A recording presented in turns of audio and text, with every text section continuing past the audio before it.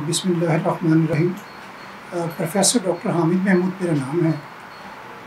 और ये हमारी आबाई जगह थी, जिस वक्त मेरी वालदा बीमार थी and she was on oxygen तो मेरे दिल में ख्याल आया कि हमें कोई एक ऐसा काम करना चाहिए, उनके नाम पे, अपने वालदेन के नाम पे एक इदारा कायम करना चाहिए, जहाँ पे हम रिहेबिलिटेशन कर सकें। और पर्टिकुलरली जीनेटिक मेडिसिन जिसके अंदर मैंने पीएचडी की है तो उसी मेडिसिन को आगे बढ़ाया जाए जो कि सीनियर लोगों के लिए senior citizen mean sixty and above के लिए स्पेशलाइज हॉस्पिटल मेंटेन किया जाए।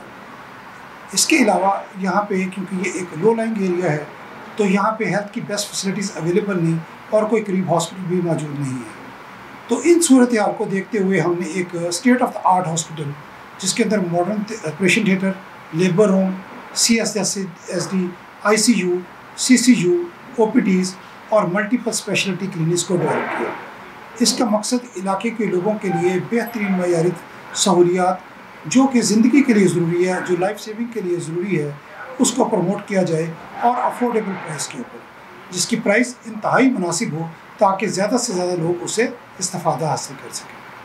डॉक्टर साहब, जैसा आपने बताया कि ये हॉस्पिटल आपने वालदा के नाम पे या वालदा के उनको गिफ्ट तौर पे आपने बताया तो दूसरी गुजारिश है, गरीबों के लिए भी आपने यहाँ पे कुछ डिस्काउंट रखा है, कोई गरीब गरीब पेशेंट आए असल में बुनियादी तौर पे जिन मेडिसिन को हम यहाँ पे डील कर रहे हैं, वो जेनेटिक्स मेडिसिन है सीनियर सिटीजन के लिए। तो सीनियर सिटीजन का यहाँ पे कंसल्टेंसी फ़ीस ज़ीरो है।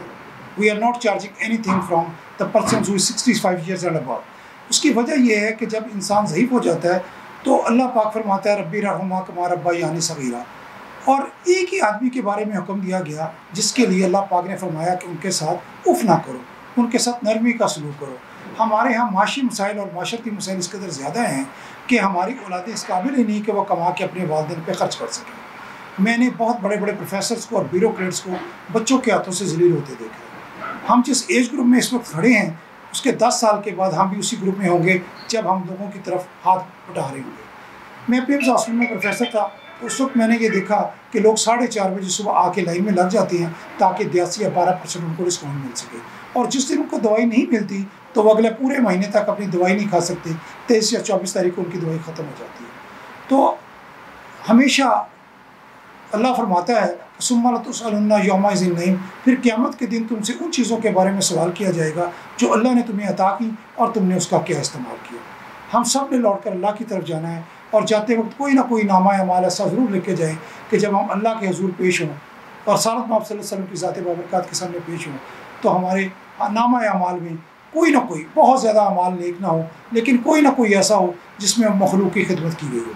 तो अल्लाह हम सब की और आप सब की इबादत को अच्छा डॉक्टर साहब किस किस बीमारी का इलाज यहाँ पे यहाँ पे सबसे ज़्यादा जो इम्पोर्टेंट है वो गायनी है पीड्स है सेक्रेटरी है आर्थोपेडिक है कार्डियोलॉजी है पुलमोनोलॉजी है न्यूरोलॉजी है जितने तमाम मेडिसिन और लाइट हेल्थ साइंस के शो में जाते हैं उन सब का यहाँ पे ट्रीटमेंट किया जाएगा। सर आखिर में कोई मैसेज देना चाहें सिर्फ़ यही है कि तमाम इलाके के लोग जो हैं मैं इसी जगह पर पैदा हुआ इसी जगह पर ग्रो किया यही सारे लोग मेरे दोस्त हैं यही सब लोग मेरे अज़ीज़ हैं।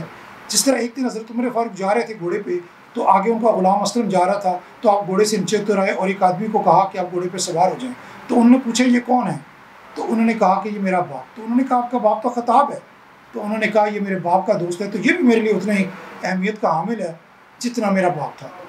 तो अगर हम रिश्तों को जांचने की कोशिश करें और रिश्तों को दबाने की कोशिश करें और यार खातर हो तो अल्लाह की बड़ी मेहरबानी होती है। अल्लाह का बड़ा एहसान होता है कि कोई आदमी आपके पास चल के आए और आप उसके लिए फैज़ हासिल करें और उसको कुछ ना कुछ अता करके भेजें।